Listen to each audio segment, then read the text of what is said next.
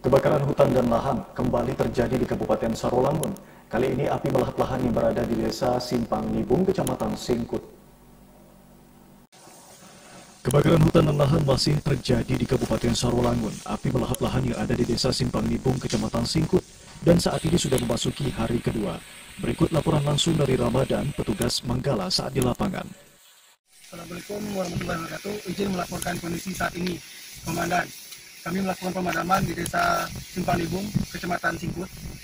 Uh, tim Manggalakmi melakukan pemadaman bersama BPBD. Seperti terlihat, Komandan. Nah, saat ini pemadaman kami uh, di lahan, status lahannya mineral.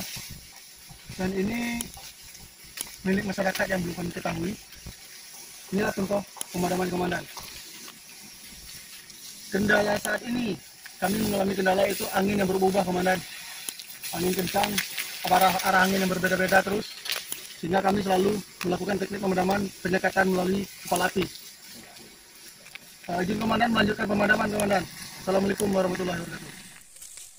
Sementara itu untuk luas lahan yang terbakar, menurut data yang diperoleh dari BPBD Kabupaten Sarolangun ada sebanyak 3 hektar. Lahan yang terbakar merupakan lahan mineral.